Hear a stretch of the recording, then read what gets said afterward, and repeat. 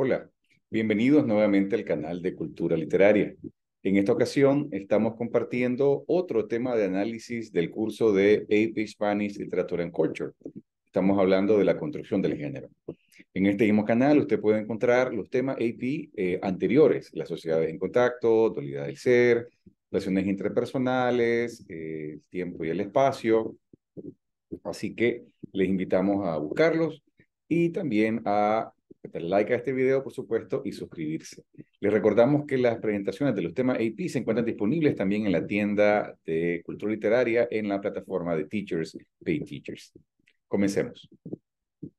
Bien, una vez más, recordemos que los temas AP del curso de Advanced Placement de Spanish, Literature and Culture son seis sociedades en contacto, dualidad del ser, relaciones interpersonales, creación literaria, el tiempo y el espacio y la construcción del género.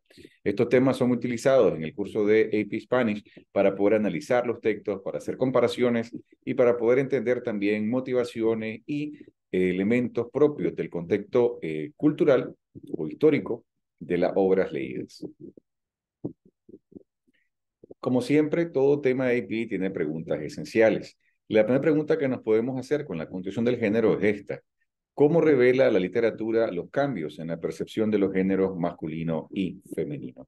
En otras palabras, la construcción de género ha tenido un devenir histórico.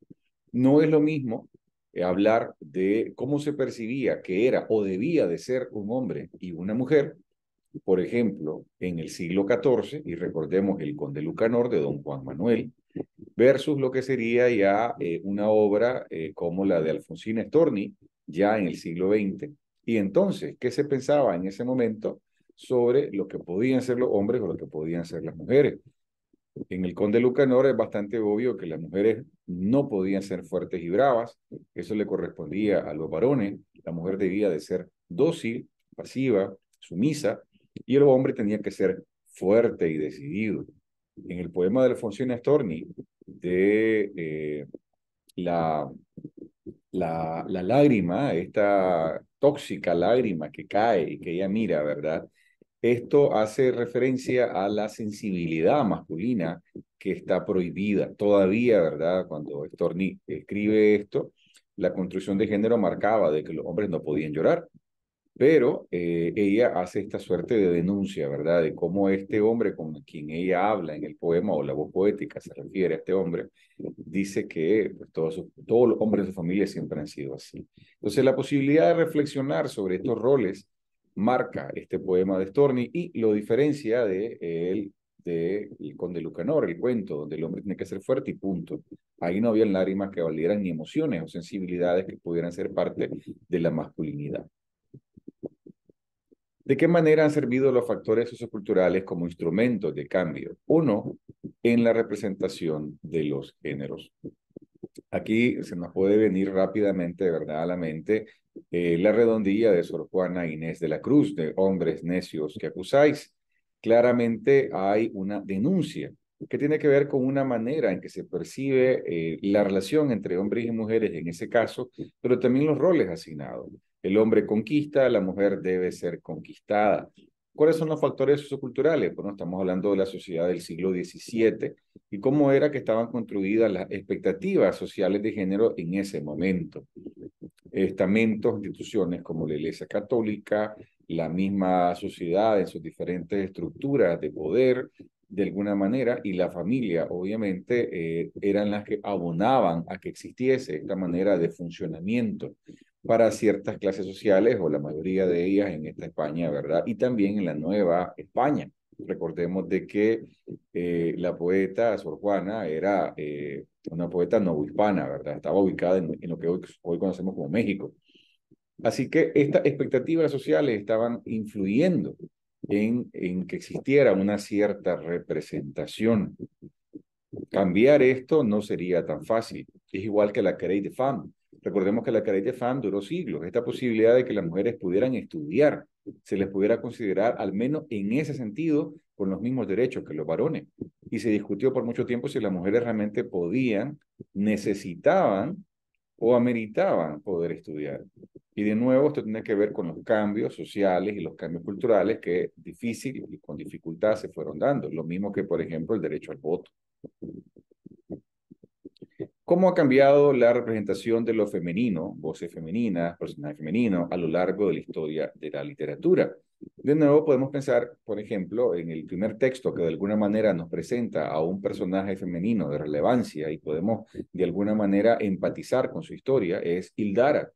Hildara, en esta terrible, terrible historia que nos plantea eh, Pardo Bazán, realista, naturalista, ¿verdad? Con las medias rojas, donde eh, nos muestran a esta muchacha que está queriendo emigrar, posiblemente hacia Estados Unidos, ella está en Galicia, en una Galicia devastada por la guerra hispanoamericana, ¿verdad? Por lo que deja después una España afectada económicamente, que sigue perdiendo territorio, ya lo último, dentro de lo que fue alguna vez un gran imperio. Y ella, pues en su deseo de cambio, ¿verdad? Que es simbolizado en estas medias rojas que le adelantó el dinero, un gancho, es decir, un traficante de personas, lamentablemente el futuro de ella tampoco habría sido posiblemente positivo, probablemente la habrían acabado prostituyendo en América, pero en su momento, lo que podemos ver en la historia es como el, el hombre, el papá, el tío Claudio, pues básicamente la deja tuerta, ¿verdad? Y además le rompe un diente y casi que la desfigura. Todo esto en el marco de la violencia machista patriarcal. Ahora, ¿cómo se representa a Hildara? Se le muestra como una mujer fuerte, como una muchacha decidida, como una mujer que quiere cambiar su destino de su historia y no lo logra debido a la violencia del padre. Ahora, cómo se representan a las mujeres, por ejemplo, en, en obras anteriores. Garcilaso de la Vega, por ejemplo, le habla a una mujer que es muda. Básicamente no tiene una representación, solamente es bella y eso es todo lo que importa. Lo mismo también Luis de Góngora. En El burlador de Sevilla, la mayor parte de las mujeres solo son pasivas y engañadas por el burlador, aunque hay una al final, la duquesa Isabela, cuando de alguna manera en una suerte de sororidad se hermana y apoya a la pescadora Tipea cuando habla frente al rey Alfonso XI en la corte. Cuando le dice el rey, ¿qué dices? Una vez que Tipea está diciendo lo que le hizo eh, don Juan Tenorio, y entonces la duquesa, que había guardado silencio, que había aceptado toda la culpa en la primera escena, ¿verdad? En la jornada primera en Nápoles, ante el rey de Nápoles, en ese momento ella responde avalando lo que Tipea dice, diciendo, ¿Qué dice? Dice el rey. Y la duquesa dice, verdades. Y con esa palabra, ahí casi que al final de la obra, El burlador de Sevilla, tenemos entonces una representación femenina de un personaje que ha cambiado desde un momento inicial en que simplemente aceptaba todo lo que los varones le, ordenaban, a uno en que ella dice, ella, Tibea, mujer, dice verdades. Y esto es un enfrentamiento a la autoridad, al patriarcado. Así que de alguna manera Tirso de Molina nos muestra ahí una transformación de este personaje femenino.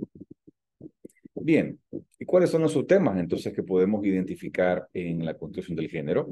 Tenemos el machismo, obviamente, ¿verdad? Todo lo que es esa construcción de un hombre que tiene que ser fuerte, que no tiene que tener llanto ni sensibilidad, o susceptibilidad, tiene que tomar decisiones rápidas, es el que mueve la acción, es el que mueve la trama, es el, el, el dueño de su destino y el destino de los demás tenemos las relaciones sociales entre hombres y mujeres, cómo se deben vincular entre ellos. Ahí están aspectos como la seducción, la comunicación, cómo, cómo se da ese vínculo entre hombres y mujeres, eso depende de cada contexto histórico y cultural.